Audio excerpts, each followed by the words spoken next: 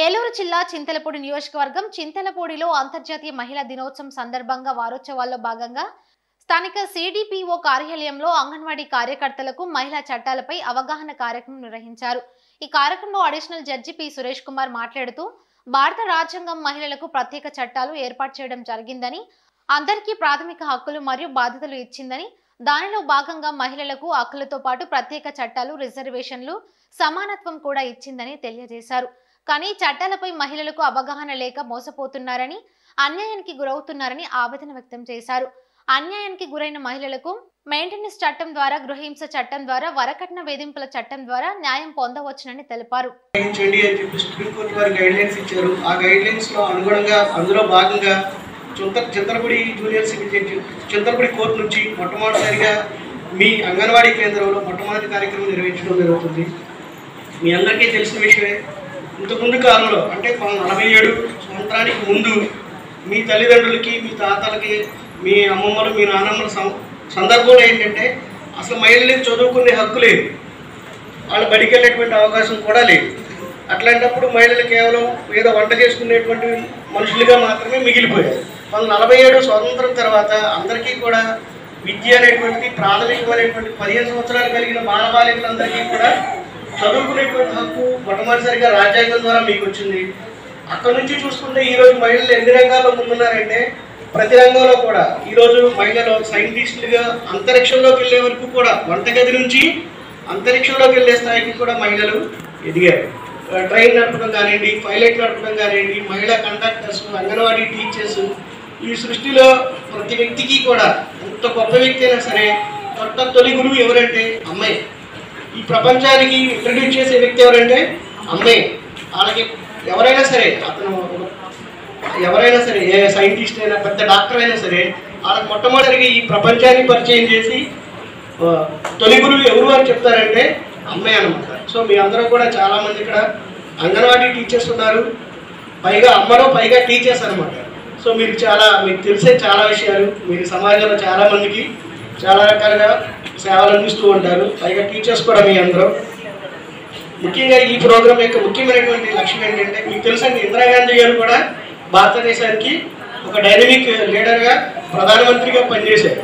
అంటే ఒకప్పుడు కేవలం స్త్రీలు అంటే ఒక రకమైనటువంటి అసమానతల నుంచి ఈరోజు స్త్రీలకు అన్ని రంగాల్లో అన్ని రంగాల్లో కూడా ఈక్వల్ ఆపర్చునిటీస్ అనేటువంటివి ఇవ్వడం జరిగింది. సో మీకు న్యాయ అవగాహన సదస్సు అంటే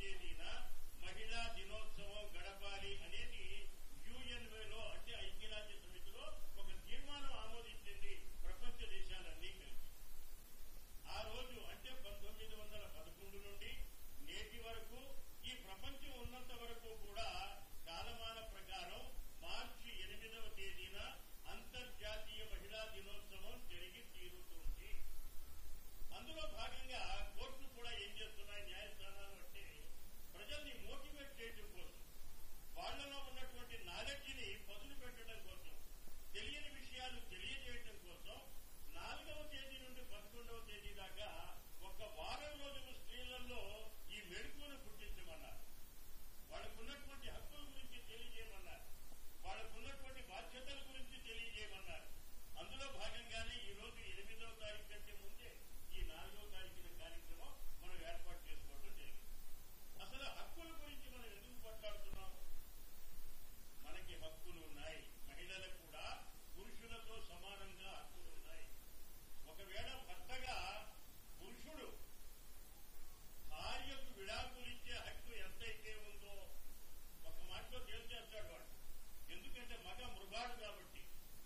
అగావతారంలో ఉంటాడు కాబట్టి విడాకులన్న పదాన్ని ఒక్క మాటలో తేల్చి నీకు విడాకులు ఇస్తున్నాను అని.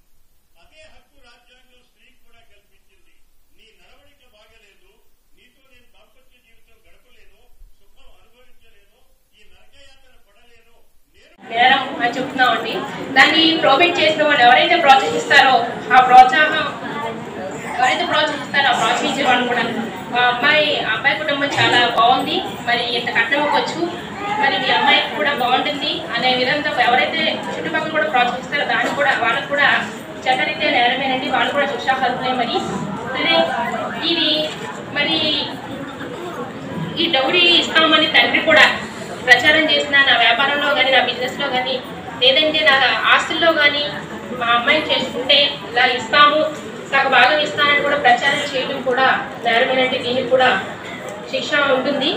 సరే శిక్ష ఉంటుంది. అలాగే మరి డౌరీ ఇవ్వకుండా ఎలా అండి ఈ రోజుల్లో కట్నాలు ఇవ్వకుండా పెళ్ళిళ్ళు ఎలా జరుగుతాయి మేడం కట్నాలు ఇవ్వటం కూడా జరగట్లేదు కదా?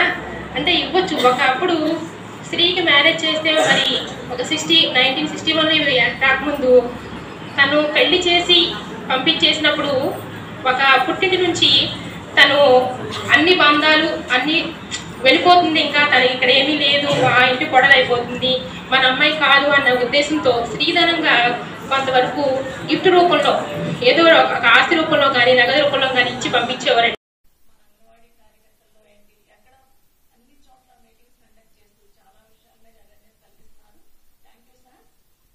ఇప్పుడు